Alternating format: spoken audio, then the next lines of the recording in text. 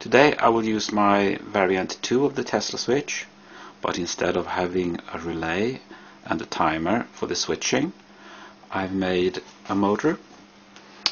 Uh, it's made out of uh, six reed switches three here and three here and uh, I've got uh, six magnets on a wheel and uh, the coil is the same coil as before. It has an air core. I haven't done anything with it yet. And uh, let's see if I can make it run. I've got the four batteries here. And uh, let's see if I can start it. Like this.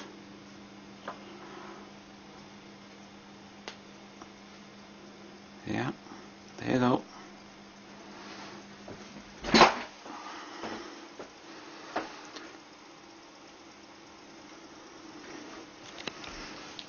this one here.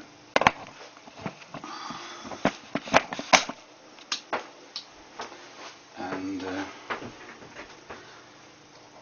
I will connect uh, the oscilloscope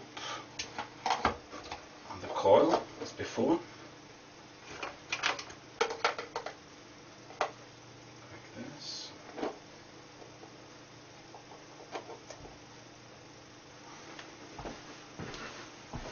see if I can zoom in again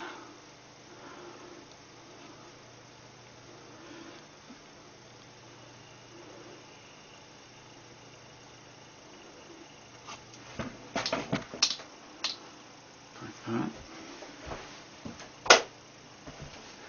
That's what it looks like.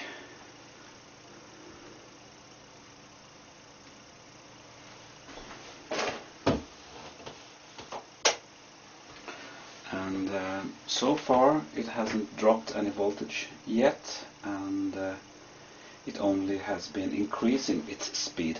Not very much, but uh, just slightly. It's uh, quite interesting.